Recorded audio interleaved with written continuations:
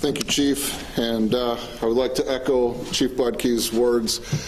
It's, uh, it's heartbreaking uh, dealing with, uh, we're three or four hours after the initial call for this incident, and uh, I think we're still a little bit uh, surprised. We never hoped for something like this to happen in our backyard, and uh, our hearts and sympathies, and certainly our prayers go out to the entire city of Buffalo and the entire Wright County area as Mayor Lachermeier alluded to, we're family here, and uh, we don't want this to happen to our neighbors and and our friends.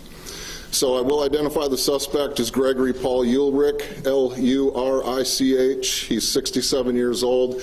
He is from Buffalo. We have had several uh, calls for service regarding Mr. Ulrich dating back to 2003, both the Buffalo Police Department and the Wright County Sheriff's Office. So he's no stranger to law enforcement.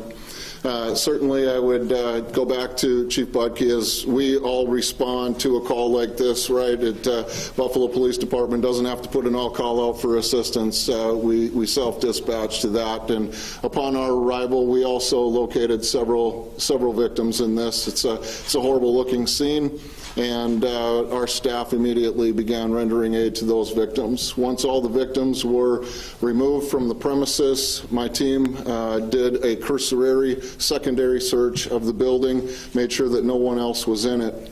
During this secondary search, uh, we also found a suspicious package uh, in the corner of the lobby, so we have contacted the uh, Minneapolis Bomb Squad, and they are on scene right now helping us with that. Once that was taken care of, or once that was found, we evacuated our team members out of there in coordination with the Buffalo Police Department, my office. Uh, Quickly became apparent that we could probably use some help. We had several witnesses, obviously several victims. They're taken to several different locations, and so we've called in some detectives. Thank you, uh, Sheriff Dave Hutchinson from the Hennepin County Sheriff's Office. He sent a team of detectives to my office uh, north of Buffalo to help with those victim statements and the witness statements, so appreciate that.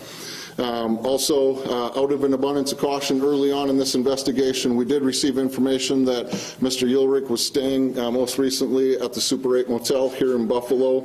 We did send a a team from my office over there to evacuate the Super 8 Motel. Uh, We did find additional suspicious devices at the Super 8 Motel. It's been evacuated, we've cleared the area. Uh, Just minutes before coming back here, I got a call update. Uh, We have, search warrants are in hand.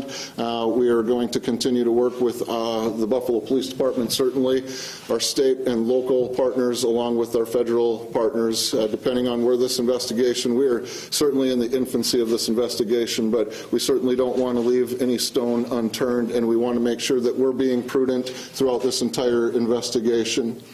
We do believe that Mr. Ulrich did, did act alone, so a sigh of relief maybe for us in the law enforcement community uh, and, and our community as a whole. We're not looking for any additional suspects. We believe that he acted alone, and so we've got time on our side. We can all get- gather the information. Once these scenes are secured, uh, and we'll, uh, we'll uh, rely on the ATF and the Minneapolis Bomb Squad to tell us when those scenes are secure, we can start the tedious process of making sure that we document to the best and fullest of our ability. So, again, I would echo the comments from Chief Budke um, that our heart goes out to this entire community. It's, uh, we in the law enforcement community uh, don't wish this upon anyone, and uh, it's with uh, a heartfelt, prayerful uh, message to the community that we will do everything that we can to, to bring this to a closure.